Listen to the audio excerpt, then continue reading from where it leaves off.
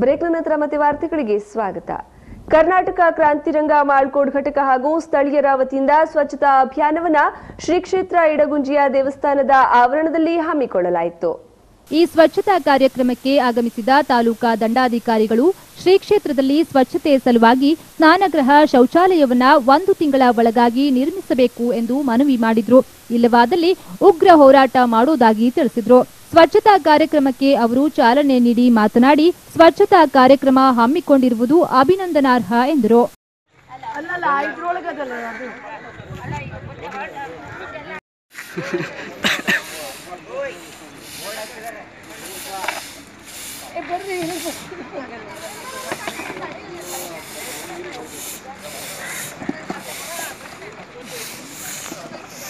ಕರ್ನಾಟಕ ಕ್ರಾಂತಿರಂಗದ ಜ್ಞಾನೇಶ್ವರ್ ನಾಯ್ಕ್ ಮಾತನಾಡಿ ಎಡಗುಂಜಿಯ ದೇವಸ್ಥಾನದ ಎದುರು ಸ್ವಚ್ಛತೆ ಕಾಪಾಡಲು ನಾವು ತಹಶೀಲ್ದಾರರಿಗೆ ಮನವಿ ಕೊಟ್ಟಿದ್ದೇವೆ.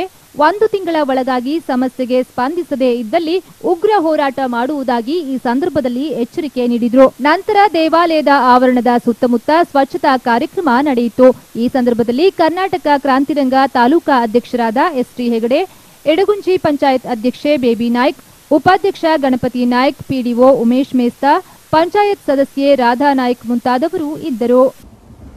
ವಿಜಯಪುರ ನಗರದಲ್ಲಿ ಬಾಲಕಿ ಮೇಲೆ ನಡೆದ ಅತ್ಯಾಚಾರ ಹಾಗೂ ಕೊಲೆ ಪ್ರಕರಣಕ್ಕೆ ಸಂಬಂಧಿಸಿದಂತೆ ಅಂದಿನ ಬೆಳಗಾವಿ ಐಜಿ ಡಾಕ್ಟರ್ ರಾಮಚಂದ್ರ ರಾವ್ ಹಾಗೂ ವಿಜಯಪುರ ಎಸ್ಪಿ ಕುಲ್ದೀಪ್ ಕುಮಾರ್ ಜೈನ್ ತನಿಖೆಯ ದಿಕ್ಕು ತಪ್ಪಿಸುವ ಕೆಲಸ ಮಾಡಿದ್ದಾರೆಂದು ಸಾಮೂಹಿಕ ಅತ್ಯಾಚಾರ ಮತ್ತು ಹತ್ಯಾ ವಿರೋಧಿ ಹೋರಾಟ ವೇದಿಕೆ ಮುಖಂಡ ಭಾಸ್ಕರ್ ಪ್ರಸಾದ್ ಗಂಭೀರ ಆರೋಪಿಸಿದ್ದಾರೆ. ವಿಜಯಪುರದಲ್ಲಿ ಸುದ್ದಿಗೋಷ್ಠಿಯಲ್ಲಿ ಮಾತನಾಡಿದ ಅವರು, ಘಟನೆಯ ಬಳಿಕ ಅಂದಿನ ಬೆಳಗಾವಿ ಉತ್ತರ ವಲಯ ಐಜಿ ರಾಮಚಂದ್ರ ರಾವ್ ಅವರು ಬಾಲಕಿಯ ಕುಟುಂಬದ ತೇಜೋವಧೆ ಮಾಡುವಂತ ಹೇಳಿಕೆ ನೀಡಿದ್ದಾರೆ. ಐಜಿ ಅವರು ಡಿಎಸ್ಎಸ್ ಮುಖಂಡರೊಂದಿಗೆ ಮಾತನಾಡಿರುವ ಆಡಿಯೋ ತಮ್ಮ ಬಳಿ ಇದೆ. ಮೂರು ದಿನಗಳಲ್ಲಿ ಗೃಹ ಸಚಿವ, ಗೃಹ ಇಲಾಖೆ ಕಾರ್ಯದರ್ಶಿ ಡಿಜಿ ಅಥವಾ ಸಿಐಡಿ ತಮ್ಮನ್ನ ಸಂಪರ್ಕಿಸಿದರೆ ಆಡಿಯೋ ಸಿಡಿ ನೀಡುತ್ತೇವೆ. ಇಲ್ಲದಿದ್ದಲ್ಲಿ ಪೊಲೀಸರು ತಮ್ಮ ಜೊತೆ ನಡೆಸಿರುವ ಮೊಬೈಲ್ ಸಂಭಾಷಣೆಯ ಸಿಡಿಯನ್ನ ಸಾರ್ವಜನಿಕವಾಗಿ ಬಹಿರಂಗ ಮಾಡುವುದಾಗಿ ಎಚ್ಚರಿಸಿದರು. ಪ್ರಕರಣದ ಕುರಿತು ನ್ಯಾಯಾಂಗ ತನಿಖೆಯಾಗಬೇಕು ಎಂದು ಆಗ್ರಹಿಸಿದ ಅವರು, ಐಜಿ ರಾಮಚಂದ್ರ ರಾವ್ ಮತ್ತು ವಿಜಯಪುರ ಎಸ್ಪಿ ಕುಲದೀಪ್ ಕುಮಾರ್ ಜೈನ್ ಅವರನ್ನ ಅಮಾನತು ಮಾಡಬೇಕು. ಈ ಎಲ್ಲಾ ಬೇಡಿಕೆಗಳನ್ನ ಇಟ್ಟುಕೊಂಡು ನವೆಂಬರ್ ಒಂಬತ್ತರಂದು ವಿಜಯಪುರ ಚಲೋ ಕಾರ್ಯಕ್ರಮ ಆಯೋಜಿಸಲಾಗಿದೆ. ರಾಜ್ಯದ ನಾನಾ ಭಾಗಗಳಿಂದ ಸಾವಿರಾರು ಕಾರ್ಯಕರ್ತರು ಈ ಸಮಾವೇಶದಲ್ಲಿ ಭಾಗವಹಿಸಲಿದ್ದಾರೆ ಎಂದು ತಿಳಿಸಿದರು.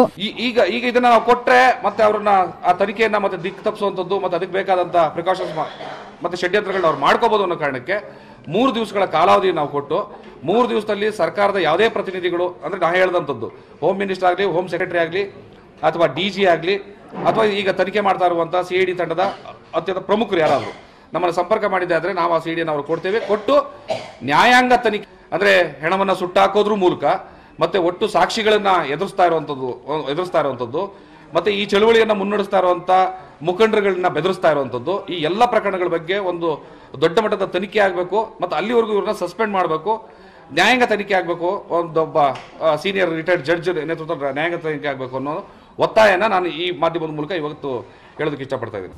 ಇದೀಗ ಮತ್ತೊಮ್ಮೆ headlines. Kumta bus depot manager ಬೇಜವಾಬ್ದಾರಿ ಮನುಷ್ಯ. ಮಾಡೋ ಕೆಲಸ ನೆಟ್ಗೆ ಮಾಡಲ್ಲ ಸಭೆಗೂ ಹಾಜರಾಗೋಲ್ಲ. ಸ್ಥಾಯಿ ಸಮಿತಿ ಅಧ್ಯಕ್ಷ ರಾಜೇಶ್ ನಾಯ್ಕ್ ಗಂಭೀರ ಆರೋಪ.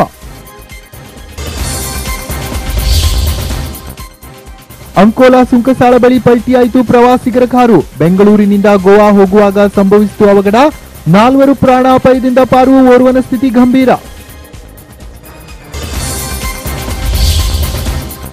ಹಿಂದೂ ಎಂದು ಹೇಳಿಕೊಳ್ಳುವ ಕಾರಣಕ್ಕೆ ಬಿಜೆಪಿ ಕಾರ್ಯಕರ್ತರಿಗೆ ಬೆಲೆ ಇಲ್ಲ. ಪರೇಶ್ ಹಾಗೂ ದೀಪಕ್ ಸಾವಿಗಿನ್ನೂ ನ್ಯಾಯ ಸಿಕ್ಕಿಲ್ಲ. ರಾಜ್ಯ ಸರ್ಕಾರದ ವಿರುದ್ಧ ವಿಧಾನ ಪರಿಷತ್ ಸದಸ್ಯ ಕೋಟಾ ಶ್ರೀನಿವಾಸ್ ಪೂಜಾರಿ ಆರೋಪ. ಇಲ್ಲಿಗೆ ನೂತನ ನ್ಯೂಸ್ ಮುಕ್ತಾಯವಾಯಿತು. ನಿರಂತರ ಸುದ್ದಿ ಹಾಗೂ ಮನೋರಂಜನೆಗಾಗಿ ನೋಡ್ತಾ ಇರಿ ನೂತನ ಟಿವಿ. ಇದು ನಮ್ಮ ಚಾನೆಲ್. ನಮಸ್ಕಾರ.